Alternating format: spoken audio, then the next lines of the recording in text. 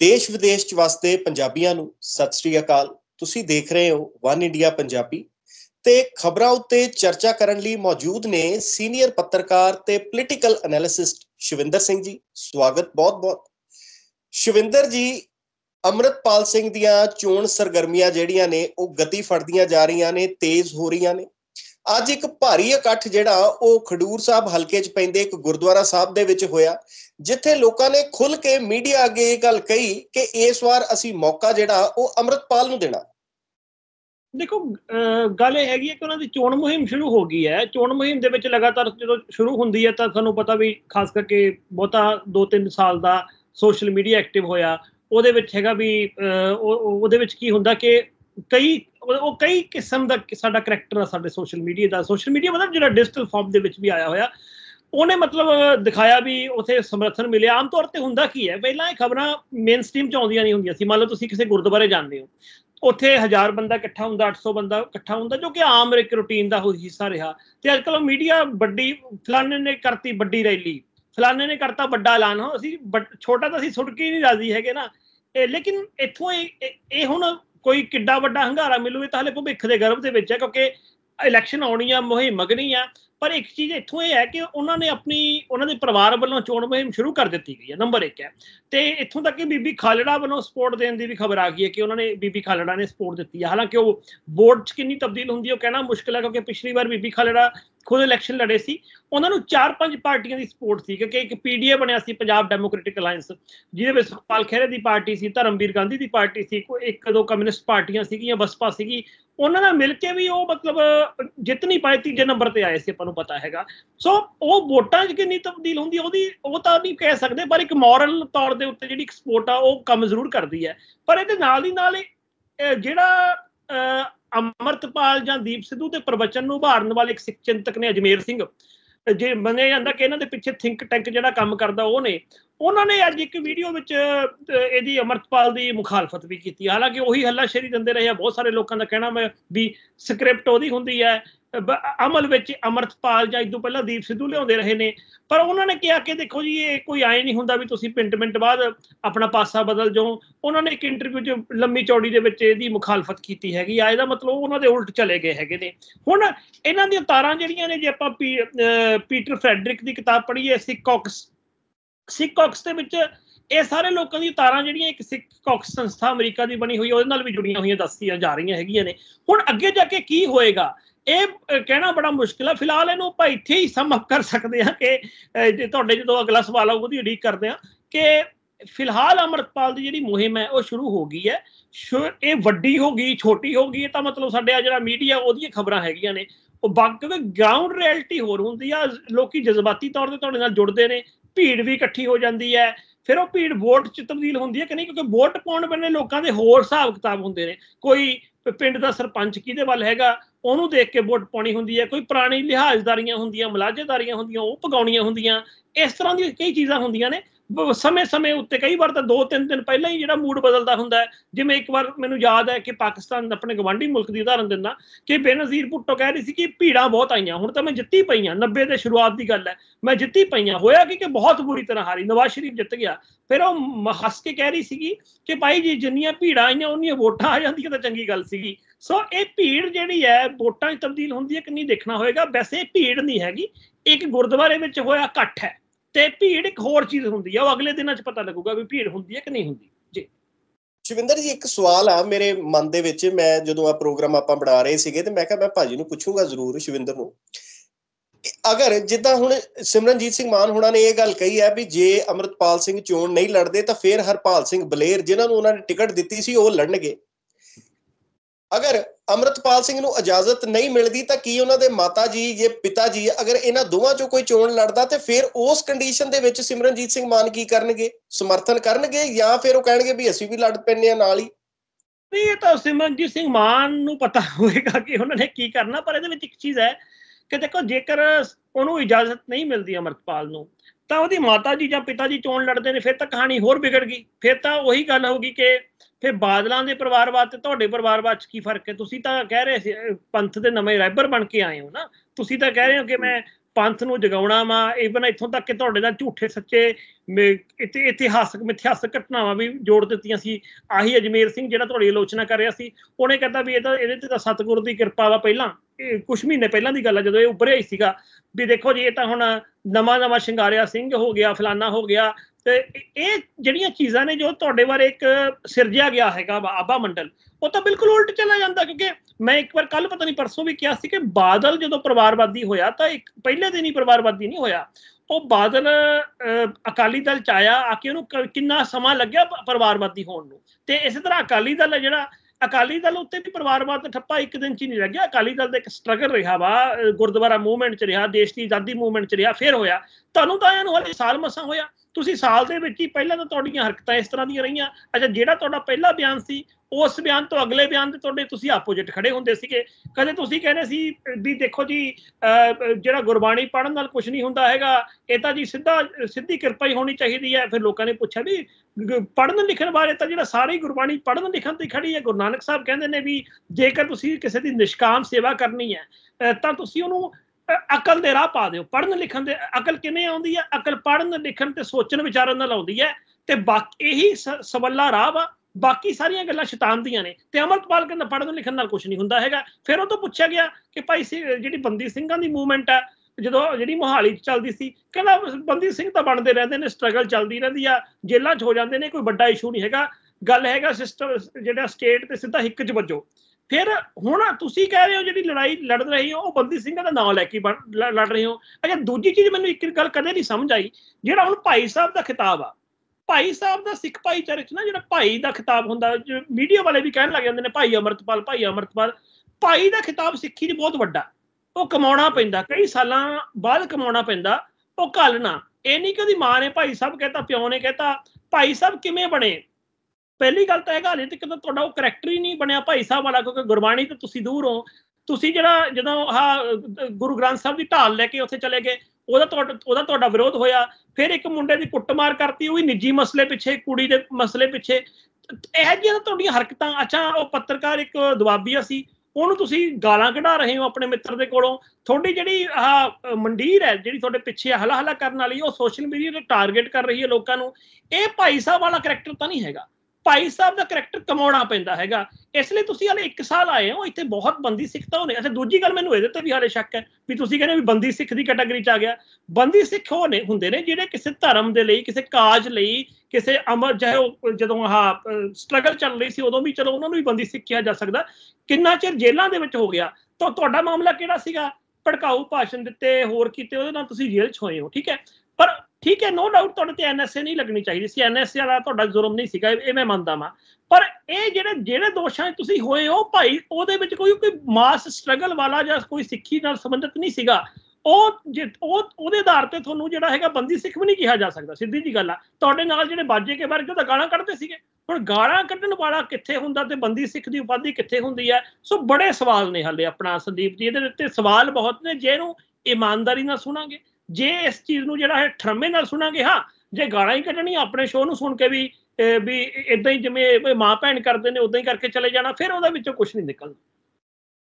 ਇਹਦੇ ਨਾਲ ਹੀ ਵਿਰਸਾ ਸਿੰਘ ਵਲਟੋਆ ਦੇ ਉੱਤੇ ਬੜਾ ਪ੍ਰੈਸ਼ਰ ਇਸ ਵੇਲੇ ਨਾ ਲੱਗ ਰਿਹਾ ਵੀ ਜਿੱਦਾਂ ਉਹ ਫਸ ਜੇ ਗਏ ਆ ਵੀ ਉਹ ਆਪਣੀ ਚੋਣ ਮੁਹਿੰਮ ਜਿਹੜੀ ਆ, ਉਹਨੂੰ ਤੇਜ਼ ਕਰਨ, ਉਹਦੀ ਗਤੀ ਉਹ ਫੜਨ।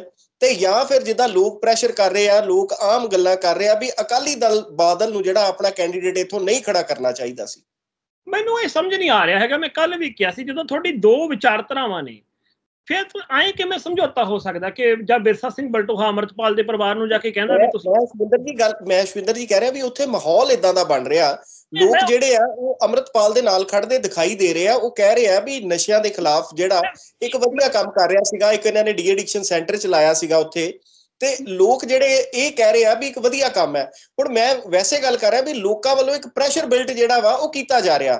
ਕਿ ਅਕਾਲੀ ਦਲ ਬਾਦਲ ਨੂੰ ਮੈਂ ਉਸੇ ਹੀ ਗੱਲ ਤੇ ਤੁਹਾਡੀ ਇੱਥੇ ਕਹਿ ਰਿਹਾ, ਮੈਨੂੰ ਪਤਾ ਵੀ ਤੁਹਾਡਾ ਆਪਣਾ ਵਿਚਾਰ ਨਹੀਂ, ਇਹ ਲੋਕਾਂ ਦਾ ਵਿਚਾਰ ਹੈ, ਤੁਸੀਂ ਉਹਨਾਂ ਦਾ ਵਿਚਾਰ ਮੈਨੂੰ ਦੱਸ ਰਹੇ ਹੋ। ਮੈਂ ਉਹੀ ਕਹਿ ਰਿਹਾ ਕਿ ਇਹ ਆਪਣੇ ਆਪ 'ਚ ਨਾ ਸਿਧਾਂਤਕ ਤੌਰ ਦੇ ਉੱਤੇ ਵੀ ਇਹ ਜਿਹੜਾ ਵਿਚਾਰ ਕਿਤੇ ਨਾ ਕਿਤੇ ਸਵਾਲ ਪ੍ਰੋਬਲਮ ਵਾਲਾ ਹੈਗਾ। ਮੰਨ ਲਓ ਕਿ ਹੁਣ ਤੱਕ ਤੁਸੀਂ ਬਾਦਲ ਕੇ ਨੂੰ ਗਾਲਾਂ ਕੱਢਦੇ ਰਹੇ ਹੋ ਵੀ ਬਾਦਲ ਕੇ ਜੀ ਪਰਿਵਾਰਵਾਦੀ ਹੈ ਪੰਥ ਨੂੰ ਖਾ ਗਏ, ਪੰਥ ਨੂੰ ਲੁੱਟ ਗਏ, ਸਾਰੇ ਬਾਦਲ ਕੇ ਵਿਕੇ, ਅਕਾਲੀ ਦਲ ਵਿਕ ਗਿਆ, ਅਕਾਲੀ ਦਲ ਨੇ ਜਿਹੜੀ ਆਰਐਸਐਸ ਕੋਲ ਜਿਹੜਾ ਸਾਡੀ ਸੋਚ ਨੂੰ ਗਹਿਣੇ ਕਰਤਾ। ਹੁਣ ਉਹੀ ਅਕਾਲੀ ਦਲ ਤੇ ਉੱਤੇ ਇੰਨੇ ਇਲਜ਼ਾਮ ਲਾ ਕੇ ਅਸੀਂ ਕਹਿੰਦੇ ਕਿ ਅਕਾਲੀ ਦਲ ਅਮਰਤਪਾਲ ਲਈ ਸੀਟ ਛੱਡ ਦੇ। ਇਸੇ ਤਰ੍ਹਾਂ ਹੀ ਜਿਹੜਾ ਆਹ ਹੈਗਾ ਬਿਰਸਾ ਸਿੰਘ ਬਲਟੋਹਾ, ਉਹ ਆਪਣੇ ਆਪ ਨੂੰ ਲਿਬਰਲ ਮੰਨਦਾ ਵਾ ਵੀ ਅਸੀਂ ਤਾਂ ਜੀ ਜਿਹੜੇ ਲਿਬਰਲ ਅਕਾਲੀ ਦਲ ਹੈਗਾ ਸਾਡਾ ਸਾਡਾ ਤਾਂ ਜਿਹੜਾ ਮੇਨ ਸਟ੍ਰੀਮ ਨਾਲ ਜੁੜਿਆ ਹੋਇਆ। ਤੁਸੀਂ ਜਾ ਕੇ ਐਕਸਟ੍ਰੀਮਿਸਟ ਜਿਹੜਾ ਵਿਚਾਰਧਾਰਾ ਵਾਲਾ, ਉਹਦੇ ਕੋਲ ਜਾ ਕੇ ਕਹਿੰਦੇ ਵੀ ਸਾਡੇ ਲਈ ਸੀਟ ਛੱਡ ਦਿਓ। ਮਤਲਬ ਦੋਵਾਂ ਦੀ ਹੀ ਜਿਹੜਾ ਨੈਤਿਕ ਤੌਰ ਤੇ ਗਲਤ ਨੇ। ਚੱਕਰ ਇਹਦਾ ਮਤਲਬ ਤੁਹਾਡਾ ਜਿਹੜਾ ਇਰਾਦਾ ਸਿਰਫ ਤੇ ਸਿਰਫ ਸੀਟ ਜਿੱਤਣਾ ਹੀ ਹੋ ਗਿਆ।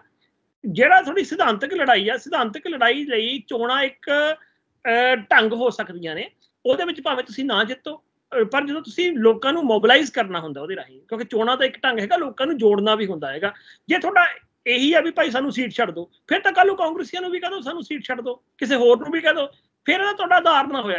ਇੱਕ ਹੋਰ ਸਿੰਪਲ ਜੀ ਚੀਜ਼ ਜਿਵੇਂ ਹੁਣ ਵੀ ਇਹਦਾ ਮਤਲਬ ਇਹ ਹੋ ਗਿਆ ਵੀ ਤੁਸੀਂ ਅਮਰਤਪਾਲ ਦੇ ਜਿਹੜੇ ਬੰਦੇ ਕਹਿੰਦੇ ਨੇ, ਜਾਂ ਉਹਦੇ ਸ਼ਰਧਾਲੂ ਜਾਂ ਕੁਝ ਵੀ ਲਾ ਲਓ, ਉਹਦੇ ਫੈਨ ਕਹਿੰਦੇ ਨੇ ਵੀ ਜੀ ਅਕਾਲੀ ਦਲ ਸੀਟ ਛੱਡ ਦੇ।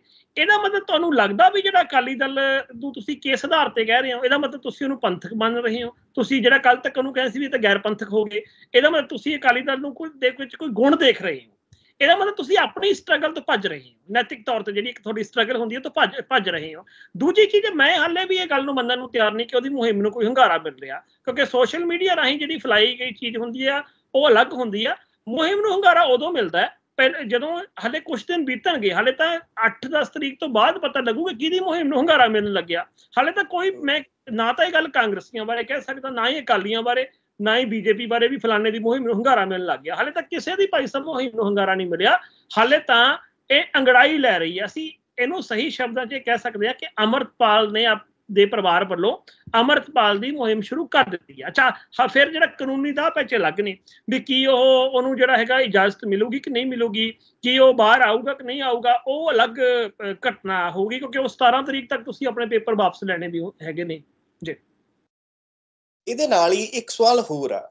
ਜਦੋਂ ਆਪਾਂ ਸਕੂਲ ਤੋਂ ਪੜ੍ਹਨਾ ਸ਼ੁਰੂ ਕਰਦੇ ਆ, ਫਿਰ ਅਸੀਂ ਹਾਈ ਸਕੂਲ ਚਲੇ ਜਾਂਦੇ ਆ ਸੀਨੀਅਰ ਸੈਕੰਡਰੀ ਕਰ ਜਾਂਦੇ ਆ ਕਾਲਜ ਚ ਜਾਂਦੇ ਆ ਡਿਗਰੀ ਕਰਦੇ ਆ ਤਾਂ ਕੀ ਜਿਹੜੀ ਸਕੂਲ ਦੇ ਵਿੱਚ ਅਸੀਂ تعلیم ਹਾਸਲ ਕੀਤੀ ਹੁੰਦੀ ਆ ਭੁੱਲ ਜਾਂਦੇ ਆ ਮੈਂ ਗੱਲ ਕਰ ਰਿਹਾ ਅਜਨਾਲੇ ਤੋਂ ਸਾਬਕਾ ਵਿਧਾਇਕ ਅਮਰਪਾਲ ਸਿੰਘ ਬੋਨੀ ਦੀ ਸ਼੍ਰੋਮਣੀ ਅਕਾਲੀ ਦਲ ਬਾਦਲ ਦੀ ਟਿਕਟ ਦੇ ਉੱਤੋਂ ਦੋ ਵਾਰੀ ਇਹ ਵਿਧਾਇਕ ਬਣਦੇ ਨੇ ਇਹਨਾਂ ਦੇ ਜਿਹੜੇ ਫਾਦਰ ਰਤਨ ਸਿੰਘ ਅਜਨਾਲਾ ਤਿੰਨ ਵਾਰੀ ਦੇ ਵਿਧਾਇਕ ਨੇ ਔਰ ਖਡੂਰ ਸਭਾ ਹਲਕੇ ਤੋਂ ਹੀ ਜਿਹੜੇ ਆ ਇਹ ਸੰਸਦ ਮੈਂਬਰ ਵੀ ਬਣਦੇ ਨੇ ਤੇ ਬੋਨੀ ਅਜਨਾਲਾ ਦੀ ਇੱਕ ਵੀਡੀਓ ਜਿਹੜੀ ਸੋਸ਼ਲ ਮੀਡੀਆ ਦੇ ਉੱਤੇ ਵਾਇਰਲ ਹੋ ਰਹੀ ਆ ਉਤੋਂ ਮੈਨੂੰ ਇਦਾਂ ਲੱਗਦਾ ਹੈ ਵੀ ਜਿਹੜੀ ਪੰਥਕ ਪਾਰਟੀ ਦੀਆਂ ਟਿਕਟਾਂ ਤੋਂ ਇਹ ਤੇ ਇਹਨਾਂ ਦੇ ਪਿਤਾ ਲੜਦੇ ਰਹੇ, ਜਿੱਤਦੇ ਰਹੇ, ਉਹਨਾਂ ਦਾ, ਉਹਨਾਂ ਨੇ ਇਹਨਾਂ ਨੂੰ ਕੀ ਸਿਖਾਇਆ ਹੋਊਗਾ? ਜਾਂ ਇਹ ਜਿਹੜਾ ਦਮ ਭਰਦੇ ਆ ਪੰਥ ਦਾ, ਇਹਨਾਂ ਨੂੰ ਕਿੰਨਾ ਕੁ ਗਿਆਨ ਆ? ਉਹ ਵੀਡੀਓ ਜਿਹੜਾ ਸਭ ਕੁਝ ਬਿਆਨ ਕਰਦੀ ਹੈ। ਉਹ ਵੀਡੀਓ ਨਾ ਐਂ ਲੱਗਦਾ ਕਿ ਜਾਂ ਤਾਂ ਉਹ ਬੰਦੇ ਨੂੰ ਜਿਹੜੇ ਸ਼ਬਦ ਚੁਣਨੇ ਨਹੀਂ ਆਉਂਦੇ ਹੈਗੇ, ਜਾਂ ਉਸ ਬੰਦੇ ਨੂੰ ਵੈਸੇ ਹੀ ਕੋਈ ਬੇਸਿਕ ਅਕਲ ਨਹੀਂ, ਕਿਉਂਕਿ ਉਹ ਪੰਥਕ ਜਿਹੜਾ ਪਿਛੋਕੜ ਦੇ ਵਿੱਚੋਂ ਦਾਅਵੇਦਾਰੀ ਕਰਦੇ ਨੇ। ਹੁਣ ਪੰਥਕ ਪਿਛੋਕੜ ਦਾ ਕਾਲੀ ਦਲ ਵਗੈਰਾ ਦਾ ਕੀ ਰਿਹਾ? ਇਹਨੂੰ ਛੋਟੀ ਜੀ ਉਮਰ ਦੇ ਵਿੱਚ ਹੀ ਟਿਕਟ ਮਿਲ ਗਈ ਸੀਗੀ। ਫਿਰ ਤੁਹਾਨੂੰ ਪਤਾ ਵੀ ਇਹ ਐਮਐਲਏ ਵੀ ਬਣ ਗਿਆ ਸੀਗਾ। ਉਹ ਉਦੋਂ ਵੀ ਮੈਂ ਦੇਖਿਆ ਜਦੋਂ ਨੇ ਪਹਿਲੀ ਵਾਰ ਸੌਂ ਚੁੱਕੀ ਸੀਗੀ, ਮੈਂ ਉਹ ਦੇਖਿਆ ਇਹਨੇ ਆਪਣੀ ਸਾਰੀ ਦਾੜੀ ਜੀ, ਉਹ ਜਿਹੜੀ ਵੈਕਸੀਨ ਜੀ ਕਰਾਈ ਹੋਈ ਸੀਗੀ। ਮੈਂ ਕਿਹਾ ਯਾਰ ਹੁਣ ਅਕਾਲੀ ਦਲ ਵਿੱਚ ਇਹੋ ਜਿਹੇ ਲੀਡਰ ਆਇਆ ਕਰਨਗੇ, ਇਹ ਉਦੋਂ ਦੀ ਗੱਲ ਹੈ ਜਦੋਂ ਪਹਿਲੀ ਵਾਰ ਇਹ ਐਮਐਲਏ ਬਣਿਆ ਸੀਗਾ। ਹੁਣ ਮਸਲਾ ਆਪਣਾ ਇਹ ਹੈਗਾ, ਉਹ ਕਹਿ ਰਿਹਾ ਕਿ ਦੇਖੋ ਜੀ ਕ੍ਰਿਸਚੀਅਨ ਸਭ ਤੋਂ ਵੱਡਾ ਧਰਮ ਹੈ ਤੇ ਸਿੱਖ ਸਭ ਤੋਂ ਛੋਟਾ ਧਰਮ ਹੈ। ਇਹ ਕਿਉਂਕਿ ਜੀ ਕ੍ਰਿਸਚੀਅਨ 2000 ਸਾਲ ਪੁਰਾਣਾ ਤੇ ਜਿਹੜਾ ਸਿੱਖ ਧਰਮ 500 ਸਾਲ ਪੁਰਾਣਾ। ਇੱਕ ਨੂੰ ਇਹ ਨਹੀਂ ਕਹਿਣਾ ਆ ਰਿਹਾ, ਪਹਿਲੀ ਗੱਲ ਜਿਹੜਾ ਧਰਮ ਹੁੰਦਾ ਨਾ, ਧਰਮ ਨੂੰ ਚਾਹੇ ਕੋਈ ਇੱਕ ਬੰਦਾ ਵੀ ਮੰਨਦਾ ਹੋਵੇ, ਕੋਈ ਧਰਮ ਵੱਡਾ ਛੋਟਾ ਨਹੀਂ ਹੁੰਦਾ ਹੈਗਾ, ਉਹਦੀ ਇੱਕ ਆਈਡੀਓਲੋਜੀ ਉੱਤੇ ਖੜਾ ਹੁੰਦਾ, ਉਹ ਉਹ ਆਈਡੀਓਲੋਜੀ ਵਿੱਚ ਚਾਹੇ ਇੱਕ ਬੰਦਾ ਵੀ ਮੰਨਣਾ ਹੋ, ਮੰਨਦਾ ਹੋਵੇ, ਉਹ ਧਰਮ ਹੁੰਦਾ ਤੇ ਉਹ ਕਿਉਂਕਿ ਉਹਦੇ ਵਿੱਚ ਆਸਥਾ ਹੁੰਦੀ ਹੈ, ਬੰਦੇ ਦੀ ਜਿਹੜੀ ਆਸਥਾ ਹੈਗੀ ਉਹਦੀ ਇੱਕ ਵੱਡੀ ਮਹੱਤਤਾ ਹੁੰਦੀ ਹੈ ਅਸੀਂ ਇਹ ਤਾਂ ਕਹਿ ਸਕਦੇ ਹਾਂ ਕਿ ਫਲਾਨਾ ਧਰਮ ਪੁਰਾਣਾ, ਫਲਾਨਾ ਧਰਮ ਨਵੀਨਤਮ ਆ। ਵੱਡਾ ਛੋਟਾ ਨਹੀਂ ਹੁੰਦਾ, ਵੱਡੇ, ਛੋਟੇ ਤੇ ਪੁਰਾਣੇ ਨਵੇਂ ਚ ਫ਼ਰਕ ਹੁੰਦਾ। ਤੁਸੀਂ ਇਹ ਤਾਂ ਕਹਿ ਸਕਦੇ ਹੋ ਵੀ ਕ੍ਰਿਸਚੀਅਨ ਜਿਹੜਾ ਧਰਮ ਹੈ, ਉਹ ਪੁਰਾਣਾ ਧਰਮ ਹੈ 2000 ਸਾਲ ਪੁਰਾਣਾ। ਸਿੱਖ ਧਰਮ ਨਵਾਂ ਵਾ। ਨਵੇਂ, ਪੁਰਾਣੇ ਕਹਿਣ ਤੇ ਵੱਡੇ, ਛੋਟੇ ਕਹਿਣ 'ਚ ਜ਼ਮੀਨ ਅਸਮਾਨ ਦਾ ਫ਼ਰਕ ਹੈ। ਤੇ ਅੱਛਾ, ਦੂਜੀ ਚੀਜ਼ ਹੈ ਤੁਸੀਂ ਬੀਜੇਪੀ ਲਈ ਵੋਟਾਂ ਮੰਗਦੇ ਹੋ।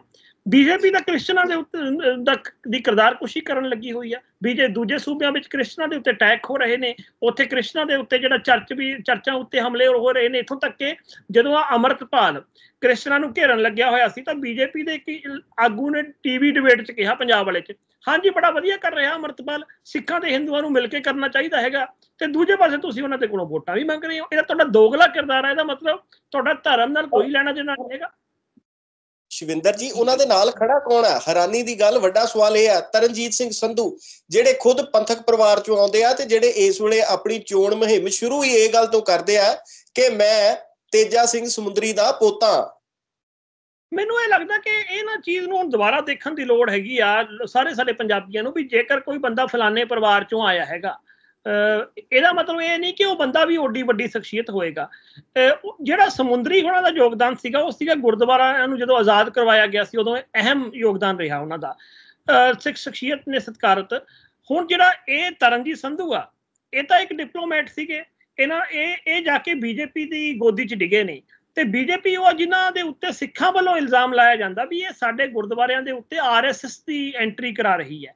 ਆਰਐਸਐਸ ਜਿਹੜੀ ਹੈਗੀ ਹੈ ਉਹਦੇ ਰਾਹੀਂ ਸਾਡੇ ਗੁਰਦੁਆਰਿਆਂ ਵਿੱਚ ਹਿੰਦੂਤਵ ਦੀ ਆਈਡੀਓਲੋਜੀ ਲਾਗੂ ਕਰ ਰਹੀ ਹੈ ਇਹਦਾ ਮਤਲਬ ਕਿ ਬਹੁਤ ਸਾਰੇ ਸਿੱਖ ਬੀਜੇਪੀ ਦੇ ਸੰਘ ਨੂੰ ਆਰਐਸਐਸ ਨੂੰ ਅੱਜ ਦੇ ਮਹੰਤ ਕਹਿ ਰਹੇ ਨੇ। ਇਹਦਾ ਮਤਲਬ ਸੰਧੂ ਤਾਂ ਅੱਜ ਦੇ ਮਹੰਤਾਂ ਦੀ ਗੋਦੀ ਚਲਿਆ ਗਿਆ। ਫਿਰ ਇਹਨੂੰ ਨੈਤਿਕ ਤੌਰ ਤੇ ਕੋਈ ਅਧਿਕਾਰ ਹੈਗਾ ਵੀ ਆਪਣੇ ਜਿਹੜੇ ਦਾਦਾ ਜੀ ਦਾ ਨਾਮ ਲੈਣ ਦਾ? ਮੇਰੇ ਖਿਆਲ ਤਾਂ ਨਹੀਂ ਹੈਗਾ। ਗੱਲ ਕਰਦੇ ਆ ਸੰਗਰੂਰ ਹਲਕੇ ਦੀ ਦਲਬੀਰ ਸਿੰਘ ਗੋਲਡੀ। ਕੱਲ ਆਪਾਂ ਜਦੋਂ ਪ੍ਰੋਗਰਾਮ ਕਰ ਰਹੇ ਸੀਗੇ ਤਾਂ ਉਦੋਂ ਤੱਕ ਅਸਤੀਫਾ ਆਇਆ ਸੀਗਾ। ਅੱਜ ਦਿਨ ਚੜ੍ਹਨੇ ਆਈ ਦਲਬੀਰ ਸਿੰਘ ਗੋਲਡੀ ਜਿਹੜੇ ਆ, ਉਹਨਾਂ ਨੇ ਆਮ ਆਦਮੀ ਪਾਰਟੀ ਜੁਆਇਨ ਕਰ ਲਈ। ਆਪਾਂ ਗੱਲ ਵੀ ਕੀਤੀ ਸੀ ਕਿ ਦੋ ਤਰ੍ਹਾਂ ਦੀ ਅਫਵਾਹ ਚੱਲਦੀ ਆ, ਇੱਕ ਬੀਜੇਪੀ ਵੱਲ ਤੇ ਇੱਕ ਆਪ ਵੱਲ। ਆਪ ਵੱਲ ਦੀ ਸੰਭਾਵਨਾ ਵੱਧ ਲੱਗਦੀ ਹੈ। ਕਿਉਂਕਿ ਉਹਦੇ ਵਿੱਚ ਮੈਂ ਤੁਹਾਨੂੰ ਜੇ ਕਾਰਨ ਵੀ ਦੱਸੇ ਸੀਗੇ ਕਿ ਇੱਕ ਤਾਂ ਆਪ ਵਾਲੇ ਬਰਨਾਲੇ ਵਾਲੀ ਸੀਟ ਖਾਲੀ ਹੋ ਗਈ, ਉੱਥੇ ਖੜਾ ਸਕਦੇ ਨੇ। ਕੱਲੇ ਬਰਨਾਲੇ ਵਾਲੀ ਨਹੀਂ ਵੈਸੇ। 8 ਐਮਐਲਏ ਚੋਣ ਲੜ ਰਹੇ ਨੇ, ਜਿਹਦੇ ਵਿੱਚ ਪੰਜ ਮੰਤਰੀ ਨੇ। ਇਹਨਾਂ ਵਿੱਚ ਜਿਹੜੇ ਜਿੱਤਦੇ ਉਹ ਸੀਟ ਖਾਲੀ ਹੋਊਗੀ। ਇੱਕ ਵੀ ਹੋ ਸਕਦੀ ਇੱਕ ਤੋਂ ਵੱਧ ਵੀ ਹੋ ਸਕਦੀ ਹੈ, ਤੇ ਕੋਈ ਵੀ ਨਹੀਂ ਹੋ ਸਕਦੀ। ਇਹਦੇ ਲਈ ਸੌਦਾ ਇਹ ਵੱਜਿਆ ਹੋਣਾ ਕਿ ਭਾਈ, ਜੇ ਤਾਂ ਕੋਈ ਸੀਟ ਖਾਲੀ ਹੁੰਦੀ ਹੈ ਖਾਸ ਕਰ ਬਰਨਾਲੇ ਵਾਲੀ ਤੈਨੂੰ ਟਿਕਟ ਦਵਾਂਗੇ ਤੂੰ ਜਿੱਤੇਗਾ। ਜਿੱਤਣ ਤੋਂ ਬਾਅਦ ਫਿਰ ਮੰਤਰੀ ਵੀ ਬਣਾ ਸਕਦੇ ਆ ਕਿਉਂਕਿ ਅੰਦਰ ਖਾਤੇ ਖਬਰਾਂ ਇਹ ਵੀ ਆਈਆਂ ਕਿ ਸ਼ਾਇਦ ਸਪੋਰਟਸ ਮਿਨਿਸਟਰ ਵਗੈਰਾ ਟਾਈਪ ਦਾ ਕੁਝ ਦੇਣ ਦੀ ਗੱਲਬਾਤ ਹੋਈ ਹੈਗੀ ਹੈ। ਅੱਛਾ ਫਿਰ ਉਸ ਤੋਂ ਬਾਅਦ ਜੇ ਤੂੰ ਫਿਰ ਅਗਲੀ ਸ਼ਰਤ ਬੰਦਾ ਹੋਰ ਵੀ ਰੱਖਦਾ ਹੁੰਦਾ ਵੀ ਚੰਗਾ ਫਿਰ ਜੇ ਤੁਹਾਨੂੰ ਲੋਕ ਸਭਾ 'ਚ ਕੋਈ ਸੀਟ ਨਾ ਆਈ ਤੇ ਮਤਲਬ ਜਾਂ ਫਿਰ ਮੈਨੂੰ ਜਾਂ ਮੈਨੂੰ ਟਿਕਟ ਦਿੱਤੀ ਮੈਂ ਨਾ ਜਿੱਤਿਆ ਫਿਰ ਫਿਰ ਵੀ ਬੰਦਾ ਥੋੜਾ ਜਿਹਾ ਕਹਿੰਦਾ ਵੀ ਚੰਗਾ ਭਾਈ ਭਾਈ ਤੈਨੂੰ ਫਲਾਣੇ ਇਲਾਕੇ ਦਾ ਸੀ ਕੋਈ ਚਾਰਜ ਚੋਲ ਦੇ ਦਾਂਗੇ ਜਾਂ ਫਿਰ ਐਂ ਕਰ ਲਾਂਗੇ ਤੈਨੂੰ ਚੇਅਰਮੈਨੀ ਟਾਈਪ ਦੇ ਦਾਂਗੇ। ਇਦਾਂ ਦੇ ਜਿਹੜੀ ਸੱਤਾਧਾਰੀ ਧਿਰ ਹੈ, ਸੱਤਾਧਾਰੀ ਧਿਰ ਦੇ ਨਾਲ ਬੰਦਾ ਜਦੋਂ ਜੁੜਦਾ, ਕੁਝ ਲੈਣ ਲਈ ਹੀ ਜੁੜਦਾ ਹੈਗਾ। ਤੇ ਅਗਲੇ ਨੂੰ ਵੀ ਸੀਗਾ ਵੀ ਭਾਈ ਮੈਂ ਐਮਐਲਏ ਪਹਿਲਾਂ ਰਿਹਾ ਹੋਇਆ ਸੀ, ਹੁਣ ਮੈਨੂੰ ਕਾਂਗਰਸ ਪੁੱਛਦੀ ਨਹੀਂ ਮੈਂ, ਹੁਣ ਮੈਂ ਬਹੁਤਾ ਦੇਰ ਸੱਤਾ ਤੋਂ ਦੂਰ ਹੋ ਕੇ ਕਿਵੇਂ ਆਪਣਾ ਕੰਮ ਚਲਾਉਂਗਾ ਉਹ ਫਿਰ ਸੱਤਾਧਾਰੀ ਧਿਰ ਦੇ ਨਾਲ ਜੁੜ ਗਿਆ। ਜੀ। ਜਦੋਂ ਇਹਨਾਂ ਨੇ ਪਾਰਟੀ ਜੁਆਇਨ ਕਰ ਲਈ ਨਾ, ਉਸ ਤੋਂ ਬਾਅਦ ਸੁਖਪਾਲ ਖਹਿਰਾ ਜਿਹੜੇ ਇਸ ਵੇਲੇ ਲੋਕ ਸਭਾ ਦੇ ਉਥੋਂ ਕੈਂਡੀਡੇਟ ਨੇ ਕਾਂਗਰਸ ਦੀ ਟਿਕਟ ਤੋਂ, ਇਹਨਾਂ ਦਾ ਇੱਕ ਨਾ ਵੀਡੀਓ ਸੋਸ਼ਲ ਮੀਡੀਆ ਤੇ ਵਾਇਰਲ ਹੋਇਆ। ਚਲੋ, ਇਹਨਾਂ ਨੇ ਆਪਣੀ ਪੜਾਸ ਜਿਹੜੀ ਕੱਢੀ ਜਾਂ ਇਹਨਾਂ ਨੇ ਕਿਹਾ ਵੀ ਦਲਬੀਰ ਗੋਲਡੀ ਨੂੰ ਨਹੀਂ ਜਾਣਾ ਚਾਹੀਦਾ ਸੀਗਾ, ਮਤਲਬ ਗੱਦਾਰੀ ਕੀਤੀ ਜਿੱਦਾਂ ਲੀਡਰ ਕਹਿੰਦੇ ਹੀ ਹੁੰਦੇ ਆ। ਪਰ ਜਦੋਂ ਇਹ ਬੋਲ ਰਹੇ ਸੀ, ਇਹਨਾਂ ਨੇ ਇੱਕ ਗੱਲ ਜਿਹੜੀ ਕੀਤੀ, ਮੈਨੂੰ ਬੜੀ ਅਟਪਟੀ ਲੱਗੀ। ਇਹ ਕਹਿੰਦੇ ਵੀ ਮੈਂ ਤਾਂ ਸੰਗਰੂਰ ਆਉਣਾ ਹੀ ਨਹੀਂ ਸੀ ਚਾਹੁੰਦਾ, ਮੈਨੂੰ ਤਾਂ ਪਾਰਟੀ ਨੇ ਭੇਜਿਆ। ਅਸਲ 'ਚ ਪਾਰਟੀ ਪਹਿਲਾਂ ਨਾ ਬਠਿੰਡਾ 'ਚ ਇਹਨਾਂ ਨੂੰ ਟਿਕਟ ਦੇਣ ਦੀ ਸੋਚ ਰਹੀ ਸੀਗੀ। ਤੇ ਇਹਨਾਂ ਨੇ ਖੁਦ ਕਿਹਾ ਕਿ ਭਾਈ, ਜੇਕਰ ਮੈਨੂੰ ਟਿਕਟ ਮੈਨੂੰ ਲੜਾਉਣਾ ਹੀ ਚਾਹੁੰਦੇ ਹੋ ਤਾਂ ਸੰਗਰੂਰ ਤੋਂ ਲੜਾਓ। ਮਤਲਬ ਜਿਹੜੀ ਪੁਰਾਣੀ ਗੱਲ ਮੈਂ ਯਾਦ ਕਰਾ ਰਿਹਾ ਸੁਖਪਾਲ ਸਿੰਘ ਖਹਿਰਾ ਦੀ, ਜੇ ਮੈਨੂੰ ਲੜਾਉਣਾ ਚਾਹੁੰਦੇ ਹੋ ਤਾਂ ਸੰਗਰੂਰ ਤੋਂ ਲੜਾਓ, ਕਿਉਂਕਿ ਉੱਥੇ ਸਿੱਧਾ ਭਗਵੰਤ ਮਾਨ ਦਾ ਪਰਿਵਾਰ ਦੀ ਆਪਣੀ ਜੱਦੀ ਸੀਟ ਉੱਥੇ ਮੇਰਾ ਪੇਚਾ ਪਊਗਾ। ਇਹ ਮੇਰੇ ਖਿਆਲ ਤਾਂ ਹੈਗਾ ਵੀ ਪਹਿਲਾ ਸ਼ਬਦ ਇਹਨਾਂ ਨਹੀਂ ਬੋਲਿਆ ਸੀਗਾ ਪਾਰਟੀ ਨੂੰ, ਵੀ ਭਾਈ ਜੇ ਤੁਸੀਂ ਮੈਨੂੰ ਲੜਾਉਣਾ ਚਾਹੁੰਦੇ ਹੋ ਤਾਂ ਸੰਗਰੂਰ ਤੋਂ ਬਾਅਦ ਵਿੱਚ ਫਿਰ ਕਾਂਗਰਸ ਪਾਰਟੀ ਨੇ ਸੋਚਿਆ ਹੋਣਾ ਵੀ ਠੀਕ ਹੈ, ਵੋਕਲ ਬੰਦਾ ਕਾਫੀ ਹੈ, ਲੋਕਾਂ 'ਚ ਇੱਕ ਆਧਾਰ ਵੀ ਹੈਗਾ ਉਹਦਾ ਵੀ ਇੱਥੋਂ ਤੱਕ ਕਿ ਪਿਛਲੀ ਵਾਰ ਸਿਮਰਨਜੀਤ ਸਿੰਘ ਮਾਨ ਜਿੱਤਿਆ ਸੀ, ਸ਼ਾਇਦ ਪੰਥਕ ਵੋਟ ਵੀ ਹੋਵੇ। ਹਾਲਾਂਕਿ ਇਹ ਗੱਲ ਗਲਤ ਹੈ ਕਿ ਉਹ ਕੋਈ ਐਦਾਂ ਪੰਥਕ ਵੋਟ ਨਹੀਂ ਹੈਗੀ, ਉਹ ਤਾਂ ਕੁਝ ਕਾਰਨ ਹੋਏ ਜਿਹੜੇ ਸਿਮਰਨਜੀਤ ਸਿੰਘ ਮਾਨ ਦੇ, ਜਿਹਦੀ ਆਪਾਂ ਪਹਿਲਾਂ ਗੱਲ ਕੀਤੀ ਸੀਗੀ। ਕਿਉਂਕਿ ਇਹ ਸੀਟ ਇੱਕ ਡਿਫਰੈਂਟ ਜੇ ਤਰ੍ਹਾਂ ਦੀ ਸੀਟ ਹੈ। ਆਮ ਤੌਰ ਦੇ ਉੱਤੇ ਥੋੜਾ ਜਿਹਾ ਤੀਜਾ ਜਿਹੜਾ ਬਦਲਾ ਉਹਦੇ ਲਈ ਇੱਕ ਸਪੇਸ ਖਾਲੀ ਰੱਖਦੀ ਹੈ ਸੀਟ ਜਿਹੜੀ ਹੈ। ਸੋ ਕਾਂਗਰਸ ਪਾਰਟੀ ਨੇ ਜਿਹੜਾ ਹੈਗਾ ਸੋਚਿਆ ਵੀ ਚਲੋ ਫਿਰ ਭਗਵੰਤ ਮਾਨ ਹੋਣਾ ਨਾਲ ਤਾਂ ਸਿੱਧਾ ਹੀ ਇਹ ਲੈਂਦੇ ਹੀ ਨੇ ਦਸਤ ਪੰਜਾ ਕਰਦੇ ਹੀ ਨੇ। ਇੱਥੇ ਜਿਹੜਾ ਮੁਕਾਬਲਾ ਦੇ ਸਕਦੇ ਹੈਗੇ ਨੇ, ਤੇ ਇਹ ਕਾਰਨ ਸੀਗਾ ਅਸਲ ਵਿੱਚ ਤਾਂ। ਪਰ ਮੈਂ ਇਹ ਕਹਿਣਾ ਚਾਹੁੰਦਾ ਵੀ ਇਸ ਗੱਲ ਦਾ ਵੋਟਰਾਂ ਦੇ ਵਿੱਚ ਕੀ ਅਸਰ ਜਾਊਗਾ? ਵੀ ਇੱਕ ਲੀਡਰ ਜਿਹਦੇ ਪਿੱਛੇ ਅਸੀਂ ਇਸ ਵੇਲੇ ਨਾਰੇ ਲਾ ਰਹੇ ਆ ਗੱਡੀਆਂ ਭਜਾਈ ਫਿਰਦੇ ਆ ਤੇ ਲੀਡਰ ਦੇ ਦਿਲ ਦੇ ਵਿੱਚ ਤਾਂ ਇਹ ਆ ਵੀ ਮੈਂ ਤਾਂ ਭਾਈ ਚੋਣ ਲੜਨਾ ਹੀ ਨਹੀਂ ਸੀ ਚਾਹੁੰਦਾ ਸੰਗਰੂਰ ਤੋਂ, ਮੈਨੂੰ ਤਾਂ ਕਾਂਗਰਸ ਨੇ ਭੇਜਿਆ, ਹਾਈ ਕਮਾਨ ਨੇ ਭੇਜਿਆ। ਇੱਕ ਲੋਕ ਜਿਹੜੇ ਤੁਹਾਡੇ ਨਾਲ ਦਿਲੋਂ ਤੁਰੇ ਆ ਸਵੇਰੇ ਆ ਜਾਂਦੇ ਤੁਹਾਡੇ ਕੋਲ ਰੋਟੀ ਪਾਣੀ ਤੁਹਾਡੇ ਨਾਲ ਤੁਰਦੇ ਆ ਝੰਡੇ ਲੈ ਕੇ ਘੁੰਮਦੇ ਆ ਰੈਲੀਆਂ ਕਰਾਉਂਦੇ ਆ ਉਹਨਾਂ ਦੇ ਮਨ ਨੂੰ ਮੈਨੂੰ ਲੱਗਦਾ ਵੀ ਠੇਸ ਪਹੁੰਚੂਗੀ ਇਸ ਗੱਲ ਨਾਲ ਕਿ ਮੈਂ ਲੜਨਾ ਨਹੀਂ ਸੀ ਚਾਹੁੰਦਾ ਦਰਅਸਲ। ਮੈਨੂੰ ਲੱਗਦਾ ਠੇਸ ਸ਼ਾਇਦ ਨਾ ਪਹੁੰਚੇ ਪਰ ਉਲਟਾ ਕੰਮ ਹੋ ਸਕਦਾ ਵੀ ਇਹਨੂੰ ਐਂ ਗਿਣਿਆ ਜਾ ਸਕਦਾ ਵੀ ਸੁਖਪਾਲ ਸਿੰਘ ਖਹਿਰਾ ਹੁਣ ਦਬਾਅ ਦੇ ਵਿੱਚ ਹੈ।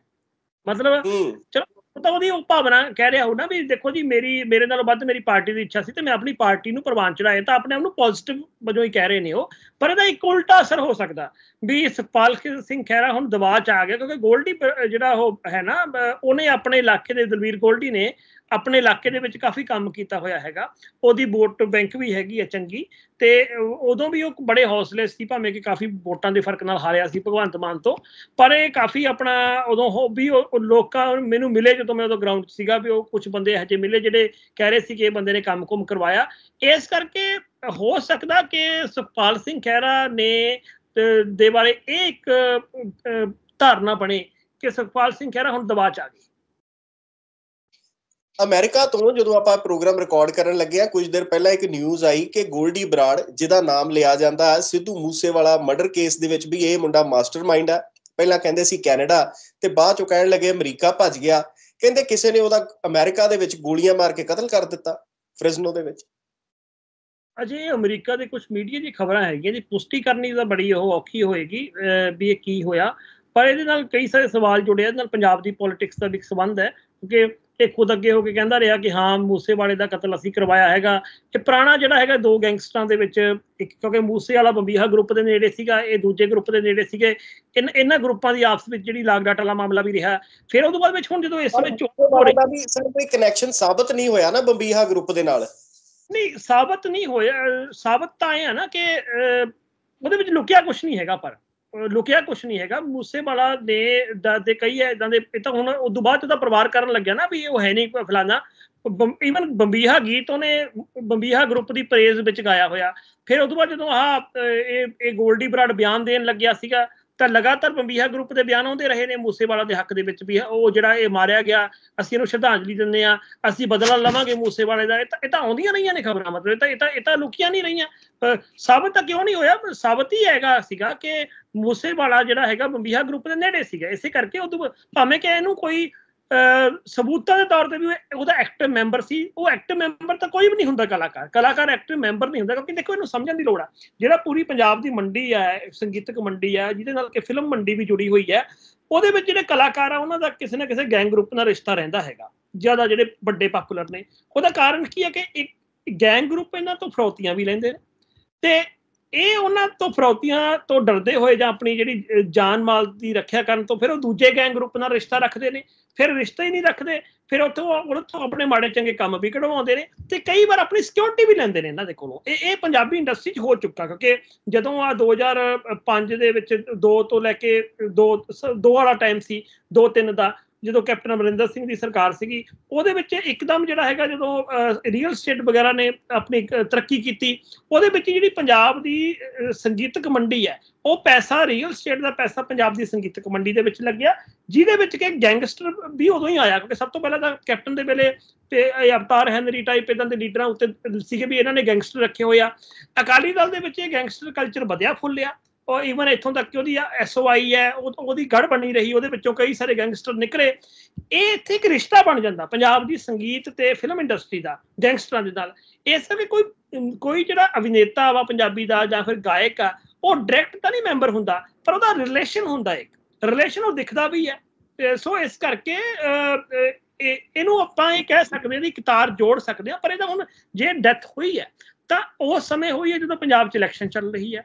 ਇਹ ਇਲੈਕਸ਼ਨ ਦੇ ਵਿੱਚ ਕੀ ਇਹਦੇ ਸੂਤਰਧਾਰ ਹੋ ਸਕਦੇ ਨੇ? ਇਹਦੇ ਵਿੱਚ ਕੀ ਗੇਮ ਪਲਾਨ ਹੋ ਸਕਦੀ ਹੈ? ਉਹ ਬੜੀ ਗੁੰਝਲਦਾਰ ਆ ਹਲੇ ਮੇਰੇ ਖਿਆਲ ਹਾਲੇ ਅਸੀਂ ਇਹਦੀ ਪੁਸ਼ਟੀ ਨਹੀਂ ਕਰਦੇ ਵੀ ਉਹਦੀ ਮੌਤ ਹੋ ਗਈ ਕਿ ਨਹੀਂ ਕਿਉਂਕਿ ਇਹ ਹਲੇ ਅਮਰੀਕਨ ਮੀਡੀਆ ਦੀਆਂ ਕੁਝ ਖਬਰਾਂ ਨੇ। ਜੀ। ਜੀ। ਬਹੁਤ ਬਹੁਤ ਧੰਨਵਾਦ ਸ਼ਿਵਿੰਦਰ ਜੀ। ਤੁਸੀਂ ਆਪਣਾ ਕੀਮਤੀ ਸਮਾਂ ਇਸ ਪ੍ਰੋਗਰਾਮ ਵਾਸਤੇ ਦਿੰਦੇ ਹੋ ਤੇ ਖਬਰਾਂ ਦੇ ਉੱਤੇ ਚਰਚਾ ਕਰਦੇ ਹੋ ਤਫਸੀਲ ਦੇ ਨਾਲ। ਤੁਹਾਡਾ ਬਹੁਤ ਬਹੁਤ ਧੰਨਵਾਦ। ਸਤਿ ਸ਼੍ਰੀ ਅਕਾਲ ਸ਼ੁਕਰੀਆ ਜੀ। ਮਿਹਰਬਾਨੀ। Subscribe to One India channel and never miss an update